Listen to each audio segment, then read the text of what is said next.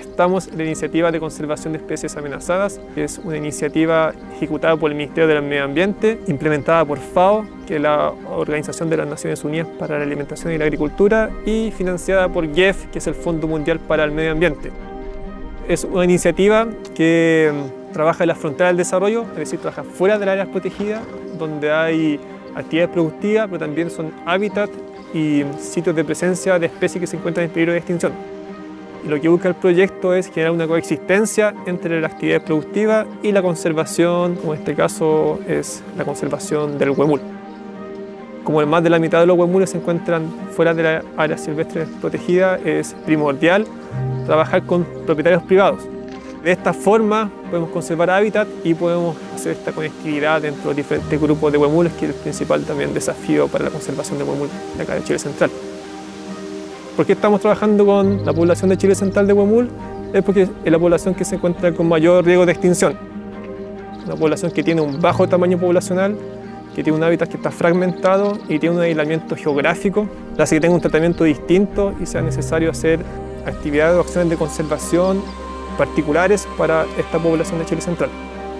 Este fin de semana vamos a instalar cámaras trampa en un sitio que son prioritarios para el monitoreo de huemul, en un sitio donde no, no, se ha realizado prospección de huemul hace más de 10 años. Entonces actualmente con las cámaras trampa vamos a hacer un monitoreo para obtener datos actualizados de la presencia de huemul en la jungla Peumayén.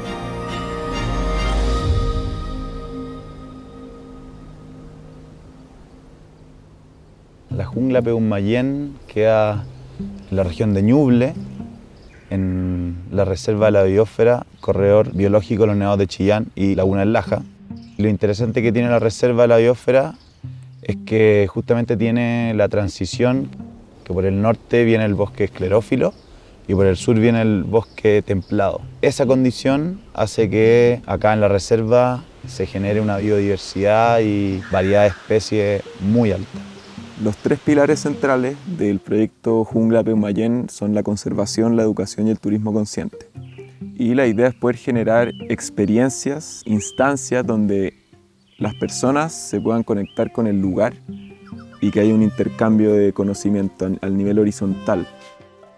Hemos trabajado con scouts, hemos hecho campamentos, cosas más chicas y ahora estamos en contacto con distintas entidades públicas que vamos en la línea de hacer como colaboraciones público-privadas para la conservación de este lugar.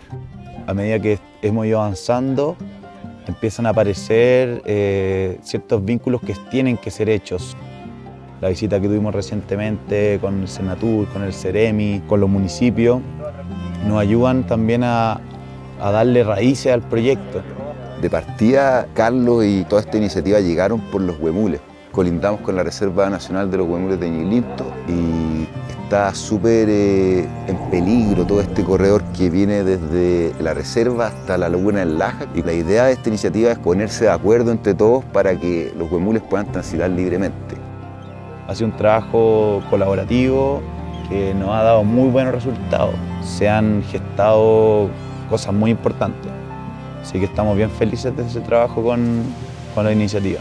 Claro, ahí le dimos como más peso a, a, la importancia de conservar este lugar y conservar todo este corredor biológico para velar por el cuidado de esta especie.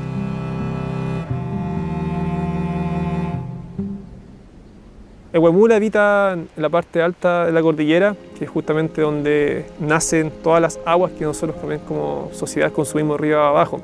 Entonces, al conservar el huemul y su hábitat, también estamos conservando una serie de servicios ecosistémicos que nosotros como seres humanos nos vemos directamente favorecidos.